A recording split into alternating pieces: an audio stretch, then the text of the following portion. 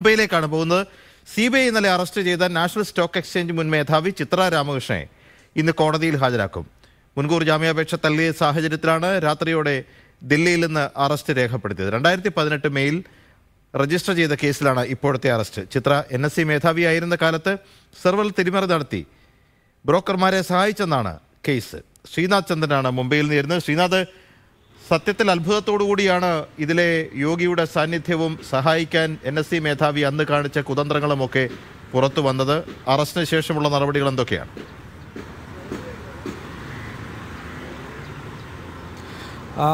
P G ഇന്നിപ്പോൾ കോടതിയിൽ ദില്ലിയിലെ കോടതിയിൽ ചിത്ര രാമകൃഷ്ണനെ ഹാജരാക്കും. അതിനുശേഷം സി ബി ഐ കസ്റ്റഡിയിൽ ആവശ്യപ്പെടുമെന്നാണ് മനസ്സിലാക്കേണ്ടത്. ഇന്നലെ രാത്രി വൈകിയാണ് ഈ അറസ്റ്റ് നടന്നിരിക്കുന്നത്. ആ അറസ്റ്റിലേക്ക് നയിച്ചത് പോലും മുൻകൂർ ജാമ്യാപേക്ഷ തള്ളിയ വേളയിൽ സി ബി ഐക്കെതിരെ കോടതി രൂക്ഷമായ വിമർശനങ്ങൾ ഉന്നയിച്ചിരുന്നു. യഥാർത്ഥത്തിൽ പി ജി സൂചിപ്പിച്ചതുപോലെ രണ്ടായിരത്തി പതിനെട്ടിൽ രജിസ്റ്റർ ചെയ്ത കേസ് നാല് വർഷങ്ങൾക്കിപ്പുറവും കാര്യമായൊരു നടപടി അന്വേഷണവുമായി ബന്ധപ്പെട്ട് ഉണ്ടായില്ല എന്നത് കോടതി ചൂണ്ടിക്കാട്ടി. ഇതിനെ തുടർന്നാണ് പിന്നീട് ഇപ്പോൾ അറസ്റ്റിലേക്ക് പോലും പ്രധാനപ്പെട്ട ഒരു സ്ഥാനത്തിരുന്ന ആളെ അറസ്റ്റ് ചെയ്യുന്ന നടപടിയിലേക്ക് സി ബി ഐ നീങ്ങിയത്. സി ബി ഐ നേരത്തെ തന്നെ മൂന്ന് തവണ ചിത്ര രാമകൃഷ്ണനെ ചോദ്യം ചെയ്തെങ്കിലും കാര്യമായ ഉത്തരങ്ങൾ അവരിൽ നിന്ന് ലഭിച്ചില്ല എന്നതാണ് സി ബി ഐ കഴിഞ്ഞ ദിവസം കോടതിയിൽ പറഞ്ഞത്. ചോദ്യങ്ങളിൽ നിന്ന് അവർ ഒഴിഞ്ഞു മാറുകയാണ്. കേസ് അട്ടിമറിക്കാനുള്ള ശ്രമം അവർ പുറത്തു നിന്നാൽ ഉണ്ടാകുമെന്നും കോടതി വാദി സി ബി ഐ വാദിച്ചു.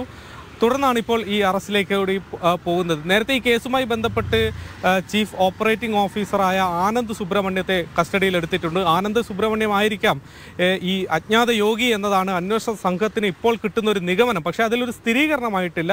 സെബി ഇത്തരത്തിലൊരു അജ്ഞാത യോഗിയുമായി ചിത്ര രാമകൃഷ്ണൻ വിവരങ്ങൾ എൻ ഐ സിയുടെ വിവരങ്ങൾ കൈമാറിയെന്ന വെളിപ്പെടുത്തൽ നടത്തിയതോടു കൂടിയാണ് ഈ കേസ് യഥാർത്ഥത്തിൽ രണ്ടായിരത്തി പതിനെട്ടിന് ശേഷം കാര്യമായി ചർച്ച ചെയ്യപ്പെടുന്നത്. പി ഓഹരി നിക്ഷേപകർക്ക് ഇരുട്ടടി നൽകുന്ന വാർത്തയാണ് ഈ എൻ എസ് സി മുൻ മേധാവിയുടെ അറസ്റ്റ്. പിന്നാലെ വരുന്നത് സെൻസെക്സ് ആയിരത്തി മുന്നൂറ്റി അറുപത്തി എട്ട് പോയിന്റ് നഷ്ടത്തിലാണ് തുടക്കം കുറിച്ചിരിക്കുന്നത്.